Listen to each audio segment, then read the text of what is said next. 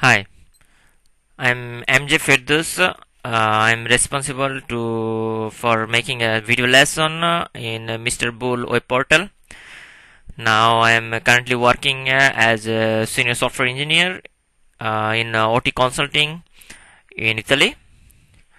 I especially work uh, with Microsoft platform in SharePoint and, and now Visual Studio 2008 with uh, Silverlight and uh, uh, other new technologies. Today I will teach you uh, a simple uh, Silverlight application uh, to make uh, a full screen mode. Uh, it is uh, very easy to implement uh, full screen mode for any kind of Silverlight application. Today I will show uh, it for Silverlight 2.0 because um, 2.0 is a little bit uh, different uh, in some libraries than uh, uh, Silverlight 1.0. So if you have some application in Silverlight 2.0 uh, which you already implement uh, for full screen mode, uh, it will not work uh, in uh, 2000 uh, Silverlight 2.0. Okay, let's uh, start our uh, first project.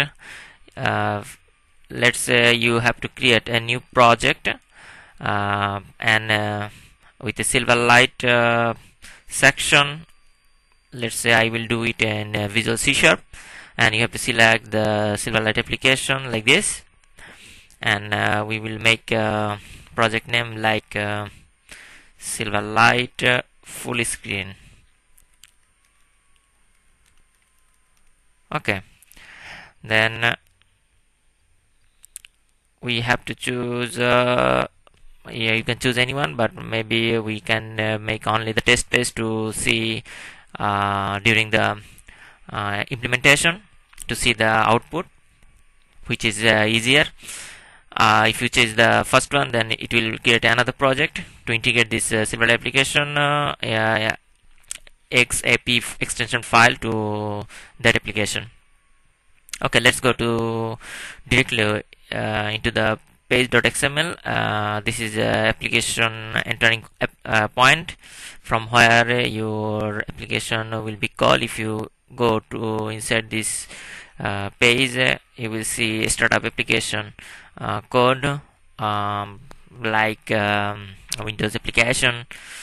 And uh, you can see the application there is a startup function and application exit function and exceptional uh, handling code.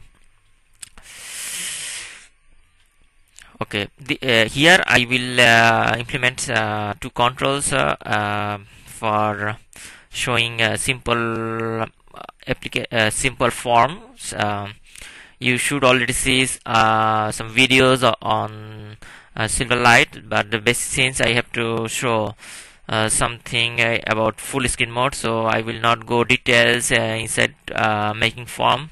I will do some copy and paste of the mm, some existing code that I built before to make this lesson uh, for example mm, but I will explain a little bit uh, for you. But uh, to make it faster I have to make a copy and paste of this code. Okay let's uh, uh, do, see. Here the width and height is for example I have to remove this I will explain you later. We have a grid with alias blue and if you see the date time picker you have to you can see here date time picker and uh, uh, we have to define the row definition. Uh, if you specify the like if you compare with the HTML code uh, HTML table then in uh, XML code you have to uh, specify row and uh, row and column to set uh, the number of columns uh, width of the columns uh, and height uh, for the rows. And you have to define the stack panel uh, for uh, setting the orientation of your control let's say if I uh, remove this uh, code and uh, if we see okay uh, this is our grid and if I show here the attribute set the attribute show grid like if I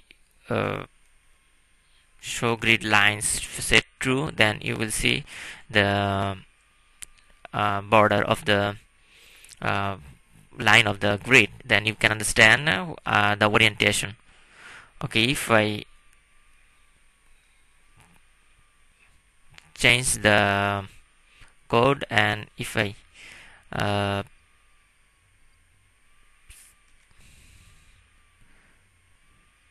if I take a new data picker from here uh, which will be better for the code because maybe it is uh, doesn't support uh, directly from by cutting paste.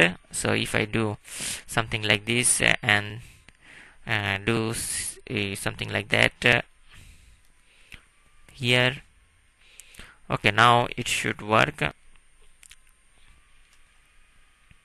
Okay good